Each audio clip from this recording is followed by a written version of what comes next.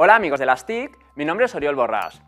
Y hoy os voy a hablar o vamos a ampliar un poco un concepto que ya eh, se vio con anterioridad de mano de nuestra compañera Ana Belén Pérez y en este caso lo que vamos a ampliar es el, concepto de entorno personal de aprendizaje, desde un punto de vista em, pues de, la, de, nuestra identidad digital, de cómo afecta a nuestra identidad digital y sobre todo profundizar en, en ese concepto para, para asimilarlo mejor. Entonces, lo primero que os voy a pedir es que hagáis un ejercicio de reflexión, cerréis los ojos, recordéis cómo habéis estudiado una asignatura, pues en la carrera, por ejemplo, em, más o menos reciente, lógicamente será diferente según la época en la que hayáis estudiado esa asignatura, eh, no es lo mismo pues, una asignatura a día de hoy que hace 20 años, lógicamente pues, por los medios que teníamos. Entonces vamos a analizar esa asignatura.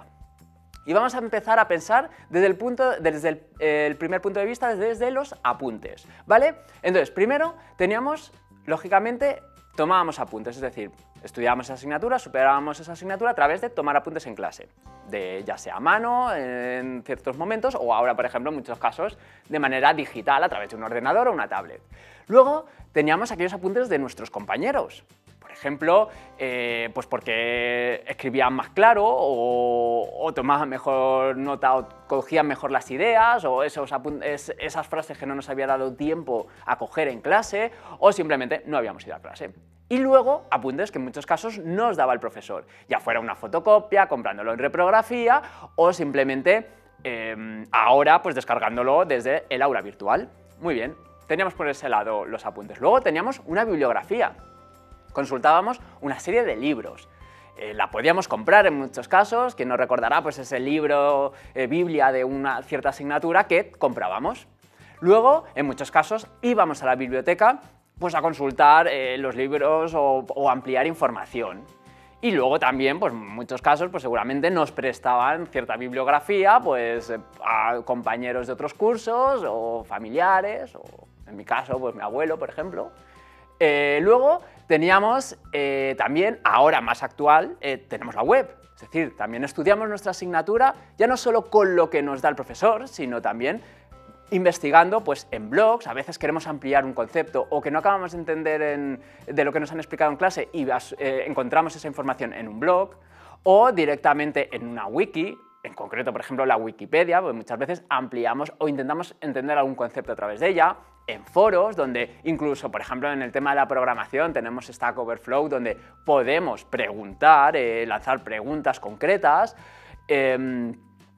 a través de redes sociales, lógicamente, hay grupos específicos en redes sociales que tratan sobre ciertas temáticas o em, directamente pues, hablando con expertos o incluso hablando con nuestros profesores a través de, pues, por ejemplo, Twitter, ¿por qué no?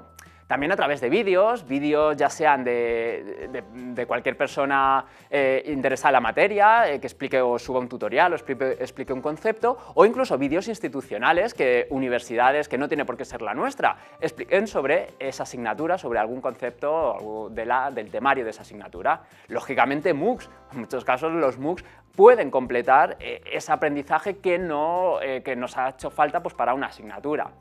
o OpenCourseware, esa iniciativa en la que encontrábamos asignaturas completas. Yo estudié asignaturas eh, no hace mucho en las que eh, encontraba más información en otras universidades, por ejemplo, respecto a la temática que quería ampliar y entonces pues cogía esa asignatura y cogía los apuntes de ahí. Y lógicamente pues una web, muchas veces incluso la web de los propios departamentos tienen información. Luego también aprendemos a través de redes de contactos eh, de esa asignatura. antiguamente los pasillos, antiguamente esos cinco minutos eh, que había entre clase y clase, aprendíamos muchas veces de esa asignatura preguntando a un compañero o una compañera, eh, ¿este concepto eh, lo has entendido? ¿O dónde has mirado esto? O cualquier tipo de información que aprendemos, digamos, de una forma más informal, un aprendizaje informal. Entonces, a través, lógicamente, del profesor, esas tutorías, el a través también pues, de otros, otros profesionales que encontramos. Ya digo que a día de hoy es muy fácil llegar a, otros, eh, a cualquier profesional a través de Facebook o de Twitter o cualquier red social. Lógicamente también pues, a través de amigos o, u otras personas. Y luego el resultado, bueno, pues tenemos, eh, cuando hemos estudiado, lógicamente hemos generado esquemas, resúmenes, que nos han ayudado a comprender esa asignatura, a repasarla, eh, que digamos han sintetizado todo ese aprendizaje que hemos desarrollado, esas reflexiones que hemos hecho muchas veces en los propios apuntes, en el libro, que hemos ido tomando ideas, todo eso va generando esa forma que hemos ido, eh, de la que hemos ido aprendiendo. Eh, ejercicios que hemos resuelto ya pues por nuestra cuenta, actividades que hemos ido entregando a los docentes o vamos para formar parte de la, asignatura o, simplemente actividades que hemos realizado porque hemos querido. O, eh, ya digo, notas que hemos ido eh, tomando. Bueno, pues esto lo hemos pensado para una asignatura, es decir, todo esto es cómo hemos aprendido una asignatura, todo lo que hemos aportado para llegar a superar esa asignatura. Fijaros que realmente el docente, su parte ha sido mínima, realmente él, bueno, mínima, quiero decir, pero todo lo demás, eh, ese aprendizaje está ampliado con todo lo que hemos buscado por otros sitios y que antes muchas veces quedaban esos apuntes que 10 años después los encontrábamos y al final, pues en muchos casos, los acabas tirando. Bueno, pues a día de hoy, claro, fijaros, esto sería el esquema de una... de cual se podría aplicar a cualquier asignatura. Y es más, y es a donde quiero llegar es que esto se lo podríamos, si lo tuviéramos publicado en abierto, podríamos conseguir que cualquier persona estudiara, tuviera esa mm, experiencia de aprendizaje idéntica a la que hemos tenido nosotros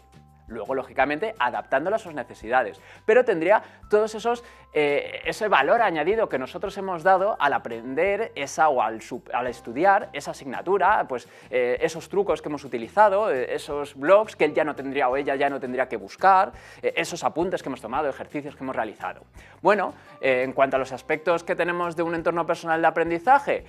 ¿cuál será? Por un lado la búsqueda para encontrar todas esas fuentes que necesitamos esa información que necesitamos, la organización de todas esas, esas fuentes, lógicamente, enfocadas a, nuestra, a esa asignatura que queremos superar. Si fue, en este caso, hablando siempre de un entorno personal de aprendizaje muy enfocado a una asignatura. Lógicamente, luego tendremos nuestra forma genérica de aprender, es decir, tendremos nuestras fuentes genéricas de búsqueda, nuestros espacios genéricos de organización,